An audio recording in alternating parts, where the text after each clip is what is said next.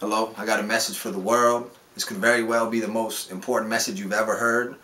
I just have to tell you that if you're not born again, you are not fulfilling your purpose of existence. You cannot understand God until you receive Christ. It is impossible. That's what distinguishes from the truth of the Word of God and a real relationship with God and every other man-made religion that there is. If you have not been born again, you will never understand God without being born again. Jesus came and died on the cross so that we could all be forgiven. And he did what no man could do. He lived a holy, perfect, pure life. And he died in our place for our sins so that we could be redeemed. And when you put your faith in Christ and you ask him into your heart sincerely and you say, Jesus, I believe that you died on the cross. I receive you as my Lord and Savior. Come into my heart. Holy Spirit, come into my heart and just have all of me. When you surrender your heart to Christ, then your spirit man goes from death to life and you can now understand the things of God. Now when you read the Word of God, you'll understand the Bible and the Lord will begin to speak to you. He'll begin to minister to you and literally you will have a new life because the Word says that if anyone is in Christ, meaning if anyone has been born again, they are a new creation. Old things have passed away. Behold, all things have become new. And the word also says that greater is he that is in you than he that is in the world. So once you're born again, the Spirit of Christ comes inside of you. And the greater one now lives inside of you. You're no longer in Adam, but you're in Christ. You're no longer a product of the flesh, but you're born of the Spirit. Because Jesus said that which is born of flesh is flesh. That which is born of spirit is spirit. See, every human has been born of the flesh. We came into this world in this body. But not every human has been born of the Spirit. And Jesus said, unless a man be born again, he cannot enter the kingdom of God. He cannot even see the kingdom of God. And the word says that no one knows the thoughts of a man but the spirit that is in that man. Likewise, no one knows the thoughts of God but the spirit of God. Therefore, you must have the spirit of God to understand God. Religion is not God. Therefore, in order to have a real relationship with God, you have to believe in Jesus Christ. He said, I am the way, I am the truth, I am the life. No one comes to the Father but by me. He said, I am the way, I am the truth, I am the life. I am the one way, I am the one truth, I am the life. No one comes to the Father but by me. He is the door to heaven. He's the only way to... Igor, come on, tell him. Come on. This is my brother in Christ Hallelujah. right here, Igor. He's born again, set free, on fire for Jesus. Can't go anywhere with him without him praying for people, God healing them. God is good. God heals. God we want you to know that God heals hearts. He heals physical yeah. illness. There's nothing that God cannot do. Yeah. Hallelujah. Yeah. I thought of for this video, just my message to the world, just yeah. to tell them about Christ. That that's just the beginning. Without Jesus, there's nothing. Without faith in Jesus, there's nothing, there's nothing no, else. No. Yeah, Jesus Christ is alive. The Word of God is very alive. And when you begin to spend time with God, your new man begins to develop and grow. And your gifts, the gifts that God has given you, because everybody has gifts, begin to, to expand. And God begins to use you to flow, to minister to other people um, at work, uh, give you wisdom in, in finances, and in all the areas in your life. God is good. He is alive. Me and Kevin been seeing him just rock rock the world.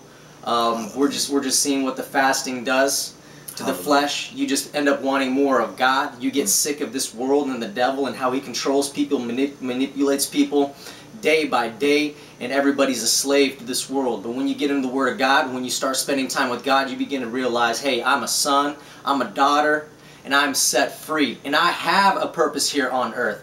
Hallelujah. Mm-hmm. God is good. So if anybody here is watching this video and has any kind of pain in their body, any kind of pain in their body, back, wrists, whatever, I want you to put your hand on it right now, wherever it is, and pray with me.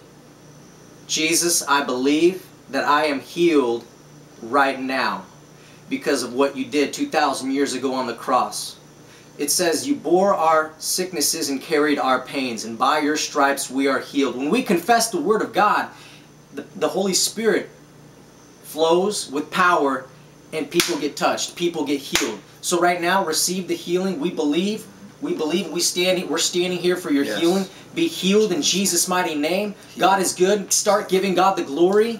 Say, I thank you, Jesus, I am healed. Wherever the pain is, I thank you, Jesus, I am healed thank him for it already because he's done it 2,000 years ago. So today you can say, I am free. I'm no longer a slave and in bondage to this pain. That is, uh, I am free in Jesus' mighty name. He is good. is just rejoice. You are healed. Don't think about it. Don't try to understand it. Just Yep. lift your hand and say, Jesus, I'm healed. Act a healed. fool. Do whatever you have to do. Jesus, I'm healed. I'm healed. I thank you that I'm healed. No matter what you're going through, the best thing you can do is lift your hand and say, God, I love you. By I glorify you. Jesus, you are everything to me. Because the truth is, if you have your heart set on Jesus and you have your mind set on Jesus and He is your focus, there is nothing the enemy can bring that is going to discourage you because your whole hope is on Jesus. It's when we take our eyes off of Jesus that everything begins to crumble, that everything begins to fall. Anytime you get, you cannot possibly behold Jesus and be in doubt and negativity and unforgiveness and everything else. Because once you behold Him, you become as He is. So we have to focus on Jesus. You have to read your word every day. And the Lord will change your heart where it's not a religious duty, but it's the favorite thing we have to do. When your spirit man begins getting fed, like Igor was saying, when you start fasting you put your de- you put your flesh to death, you're putting your flesh on the altar. You're offering your body a living sacrifice. The word says, do not be conformed to the patterns of this world, but be transformed. How? By the renewing of your mind. Offer your body a living sacrifice. And if you just begin to surrender yourself and, and worship the Father in spirit and in truth. Listen, if your pastor is not in line with the Word, get in line with the Word of God because the Word of God is right. Your pastor will not be the one judging you on Judgment Day. Jesus is the judge. He is righteous. And you need to be in accordance, we need to be in accordance with His Word because we're not going to be judged by the religion you're a part of. You're not going to be judged by what they taught at the seminar. You're not going to be judged by none of that. We will be judged by what we teach, but you have to understand and your beliefs have to be in line with the Word of God. God gave us His. Word for a reason. When the devil came at Jesus, Jesus said, It is written, it is written, it is written. Jesus Himself quoted the Word of God, and that is how He overcame the devil. We overcome the devil with truth because the Yeah. devil is a liar. And if you don't know the Word, the enemy is going to be able to play with you your whole life. He's going to be able to send deception and delusions to you, and he's going to get your mind off in, in wrong doctrine. But you need to understand the Word of God is accurate. And if you begin reading and meditating the Word of God day and night, and you just let the Word of God become a part of you, especially the New Testament, you just just behold Jesus and see who Jesus is and see what the Word says and underline, highlight stuff. Fall in love with God. Become a student of the Father. Begin to see who He is and God will begin to do something in you that is beyond explanation. You cannot explain it. It's not an act. It's who you are. We are who we are because of the grace of God. It's nothing we've done. All we do is surrender ourselves to Him and we fellowship with Him. We read His Word. We worship. We fast. We pray in tongues. You have to pray in the Holy Ghost. You got him. Whatever you're dealing with, it doesn't matter. You can lock. You know you can lock yourself away and you can pray for 10 hours in tongues. Hallelujah. He who speaks in a tongue does not speak to men, but to God. In his spirit he utters divine mysteries, but his mind is unfruitful. Well, I don't believe in that. You don't believe in the word of God. Yep. It's not what you believe, it's what the word of God says. Amen. Whatever the word of God says, I believe it. When I pray, it says, Beloved, build yourself up in your most holy faith, praying in the Holy Ghost, keeping yourself in the love of God. Praying in the Holy Ghost helps keep you in the love of God and it builds you up. So if you're feeling down, it's because your spirit man needs to be edified. And if you're not using what God gave you, and then you wonder why the enemy's just beating you down all the time because you're not coming to God based on his word. Your relationship with God is not based on truth. It's based on man's precepts and doctrines of devils when we need to repent and when you say, Jesus, who are you? If, I, if, I'm in, if I'm in any error, Lord, show me who you are. If I'm deceived, is religion your God or is Jesus your Savior? Because if Jesus is your Savior, Jesus withstood the religious spirit. It was the religious men and false religion that crucified Jesus. But if you really love the Father, like in, in John 8, he said that you're of your father, the devil. He was a liar. There's no truth in him. They said, our father's not the devil. He said, if your father was God, who you claim that he is, you would love me because I came from the Father. And I'm going back to the Father. But you do not love me. And I came from God, and I really do know God. So you're claiming that you love the Father, but you're really serving your Father. And he was telling the religious man, your father is the devil. Your heart is not right. And, and, and, and the Lord, the good thing is the Lord will purify our hearts. We come to God as we are, no matter what you're in. It doesn't matter what you're in, where you're at. It does not matter. Jesus loves you. So said, while we were yet sinners, Christ died for the ungodly. While you are in your sin, you can be sinning right now, and Jesus loves you. And as born again believers, we have to tell the world that Jesus loves them. Stop being a closet Christian and tell people that Jesus loves them and that Jesus died for them. Because the love of God can't possibly be in you, but you don't tell others that Jesus died for them. It's impossible. You cannot watch people go to hell without it bothering your born again Yeah. human spirit. Yeah, that's right. And um, we, we got to realize that our minds will never understand the spiritual things. This, this is a fight, this is a spiritual warfare, not against flesh and blood. We got to realize our minds will never understand, well, this whole praying in tongues and the Holy Spirit and God, this and the other. But when you start applying the Word of God and by faith doing these things, man, it becomes so much more real. You start realizing, wow, it, there's a lot of demonic activity going on.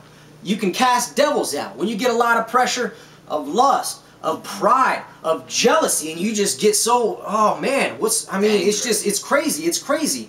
Cast that devil out. Yeah, it's it's it's partially flesh, and the devil knows that's why he's sending he's, he's sending more more of that pressure onto you because he knows that's a stronghold of yours. But but he's amplifying the problem. Tell him to go in Jesus' name, devil. You gotta go now in Jesus' name. Call him out like it is in Jesus' mighty name, and start worshiping God. Hallelujah. I love you, Jesus. I worship you. I thank you, God. I am a son. I glorify you in perfect love. Cast out all fear. When you start worshiping God, all devils have to go because they tremble at his presence. They get freaked out. They run in Jesus' name. Hallelujah. You tell them to go by the authority that is given you by God. No devil can harm you in Jesus' mighty name. And when you begin to apply these things, praying in tongues, fasting, spending time worshiping and glorifying Jesus, hallelujah, meditating the Word of God, and you start beginning to see all these things that are there is, is for us. And the light and love of God begins to grow on the inside of us to where we can't but love our neighbors. We can't but forgive those that have offended us. Forgive them. And that's a big problem in the body of Christ is unforgiveness. Oh yeah, I forgave that person, but I don't ever want to see that person again. How, how, how many of us have that? I know I had that. And I might still have a little bit of some of that inside of me. But as we continue seeking first the kingdom of God and His righteousness, all those dirty things on the inside of us fall off. Because we allow Him to, to fill in those empty areas and hurt areas with His love and His truth. And you begin to honestly, sincerely from your heart, forgive your neighbor, forgive your family, forgive those that might have hurt you. And it is amazing. It is beautiful. Walking with God is amazing. You think that you have an idea of, well, I have these goals and dreams and this is what I want to do with my life. That's great. That's God. And God will still love you till the end. He's proud of you, right? But when we give our lives over to God and say, Lord, I choose to be a humble servant whose life is not his own. I choose to follow after you. And how do you choose? Hmm.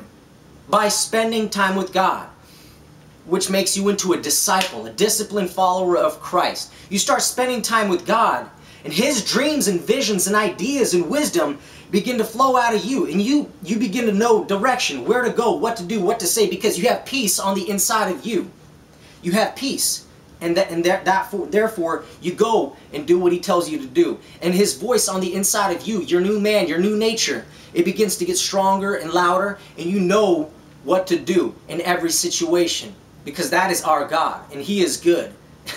and the thing is, even I am today learning of how good our God is, and I will continue to learn that till I die. Why? Is because we think we know God is good. Oh yeah, God is good. He's amazing. This and that. You have no idea. Hey, and I want to say this with pride. I, I don't either. But I'm beginning to know so much more than I've ever before because I'm spending time with Him. I'm realizing who He really is. My Father is God. So is your Father. Is God. And the only way is through Jesus Christ. Hallelujah. God has a big plan for you and, and all of us that follow after Him. It is amazing. It is crazy. It is bigger than any kind of ideas that you might have had or I have. Jesus Christ has a big plan for us. Hallelujah. It is real. It is amazing. It is good. And Lord God, I just pray your presence just fall down right now and begin to touch the viewers, begin to fall down here. I thank you for your anointing, Holy Spirit. Begin to just rock the lives of the people that are watching this. Begin to rock them, Holy Spirit. Begin to give them directions and wisdom and, and, and what to do with their lives. When to spend time with you. wake up an hour earlier before work and spend time with you. Stay up a little an hour later at night and spend time with you. Or right after work, find the time. You're not the president.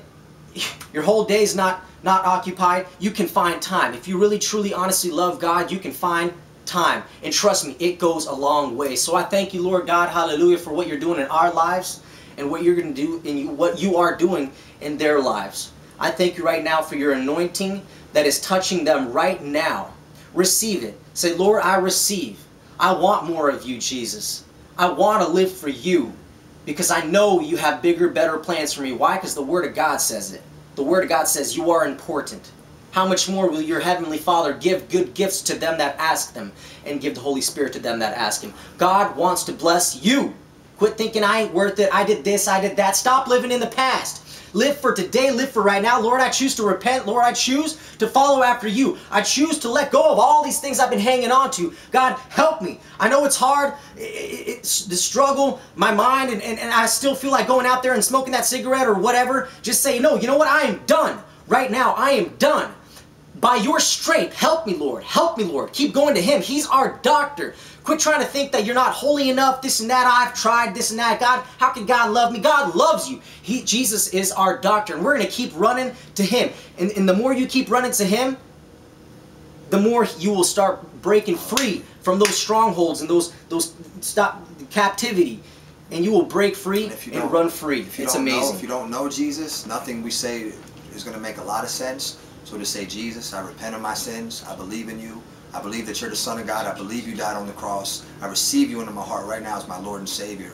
And then say, Father God, fill me right now with the Holy Spirit and give me the ability to speak in other tongues. And he'll fill you right now where you're at. You must be born again. Accept Jesus into your heart. Ask him into your heart. Say, right now, God, fill me with the Holy Ghost and give me this prayer language that I can just spend hours praying and praying and praying and your Holy Spirit can change me.